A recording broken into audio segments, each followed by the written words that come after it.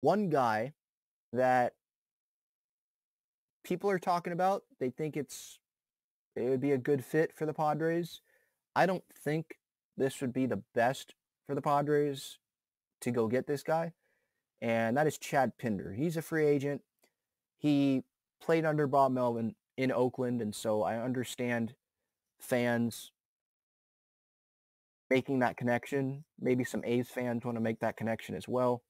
Um, they just they, they see it as a fit, and I don't blame them because of you know he plays left, need of an outfielder, another outfielder, someone that can start games, that has major league experience, blah blah blah blah blah. The, the Melvin experience, uh, the Melvin connection, but if you look at his baseball savant, it is bad.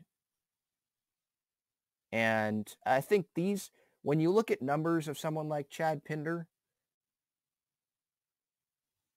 I don't want to overvalue those basic stats. If you go on like baseball reference or fangraphs, right? What I want to do is go to his baseball savant because he's not someone that I view as like this must-have guy. So if his stats are good, well, I want to dig deeper to it into that if that makes sense. Average exit velocity, 22nd percentile. That's poor according to Baseball Savant. Um, his walk percentage, second percentile. He doesn't walk. His sprint sp- his sprint speed is bad, 19th percentile.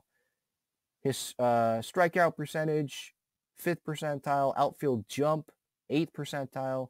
All of these are poor. Outs above average, poor, fifth percentile. Um, that's not what I want in a guy that could be the starting left fielder on opening day. Uh, I'm not that into him.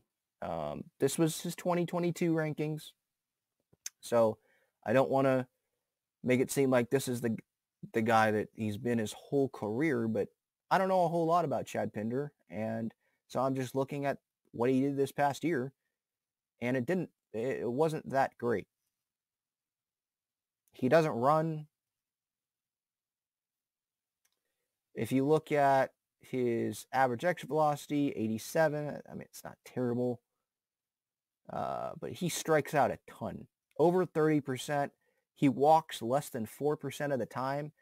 Like, that is not Jurickson Profar. Like, that's almost the opposite, right? Profar, great at bats. Um, he's willing to walk.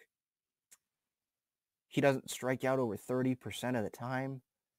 If I want a fourth outfielder or someone that I want that guy to be able to, you know, pinch hit sometimes, so Chad Pinder is a no for me. If you look at Profar's numbers compared to Pinder, I mean, they're better.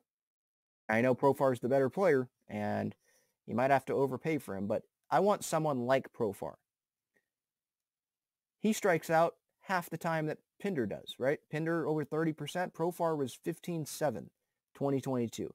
15.8% of the time, 2021. 13.9 in the short 2020. He walks over 11% of the time. Pinder is a little over three. You know, uh, I'd rather have the Profar type guy than the Chad Pinder type guy, if that makes sense. So for me, it's a no on Chad Pinder. Some people might like him. They see the connection. But for me, that's a no.